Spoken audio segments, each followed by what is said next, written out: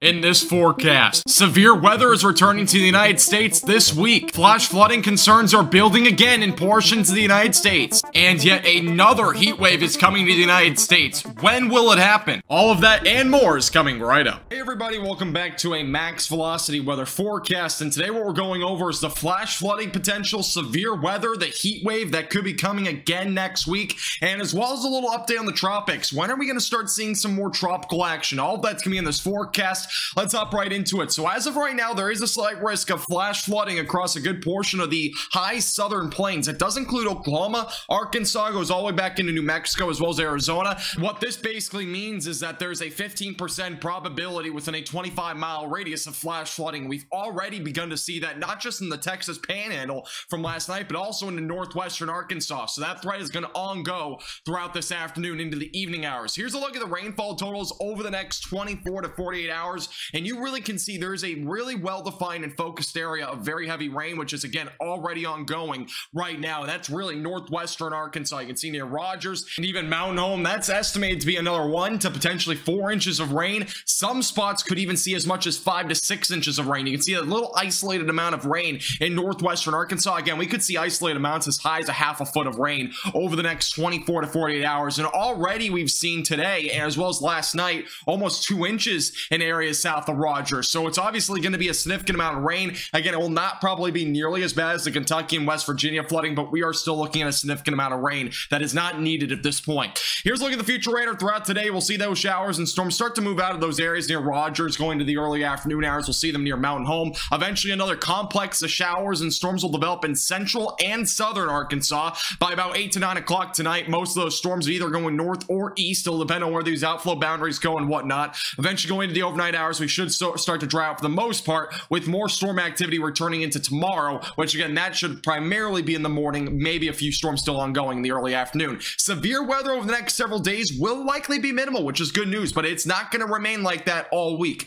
Here's a look at, though, at least for today, there is a marginal threat up in North Dakota. Not too much of a concern there, just maybe some isolated damaging winds. Tomorrow, a little bit of a different story. Minnesota looking at a slightly higher marginal risk of severe weather. Damaging winds being the main concern. That may get extended into maybe even a slight risk. More on that in just a moment. Another marginal threat back out in North Carolina. Damaging winds being my main concern. We'll have another return to severe weather across portions of the Ohio Valley and Midwest heading into Monday. That will again include anywhere from Michigan back out all as far west actually as northeastern Kansas. So damaging winds, large hail, maybe a briefer weak tornado may be possible on Monday. And let's take a look at that severe weather potential for tomorrow across Minnesota. Again, we may get upgraded risk on this, but overall the morning just isolated storm activity. Going into the afternoon, we may get a bit more of an organized complex of storms near Minneapolis and St. Cloud. This could produce that potential for damaging winds, isolated large hail, and again, I can't even rule out maybe a brief or weak tornado out of this. But again, you can kind of see that ongoing complex going to the evening hours. That will move east and as well as south towards areas like Wisconsin. Here's the timing over that direction. So you start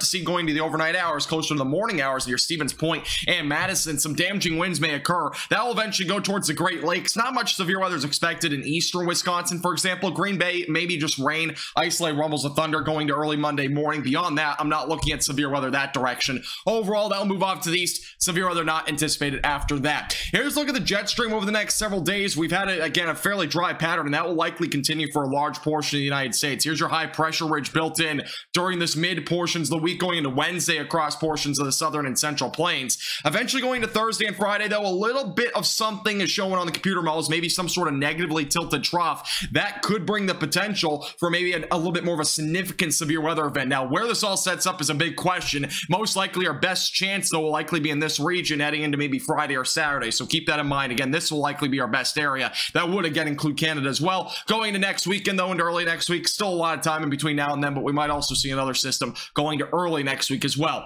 Now, tropics overall, I didn't really mention a whole lot, but we're not really expecting anything over the next 10 days, unfortunately. But here's a look at the temperatures today. And I, again, we're going to start seeing heat build in. This is just the beginning of what we're going to next see, but a lot of cooler weather across even the central plains because that stationary frontal boundary all the way back through New England. Temperatures still in the 70s and 80s. We are starting to see heat build back in though across the northern plains in areas like North Dakota. 100 degrees by the way in Montana. Also back down in Texas again. It's been really like this this entire summer so far, but low 100s again forecasted. Heading into Thursday, we're going to see again heat return for a large portion of the United States, and that will include New England back into the 90s, near 100 near Abilene going going into next Thursday, as well as the temperatures across the southern plains and central plains back in the upper 90s and 100s. A little bit of cooler weather back up near Canada, but that's all going to be due to that fact that we may see some sort of trough going to mid next week. So we'll keep an update on that for you here on Max Velocity. Make sure to hit the subscribe button down below. Make sure to hit the like button. This forecast is brought to you by Platinum Contracting and All Dents Repair.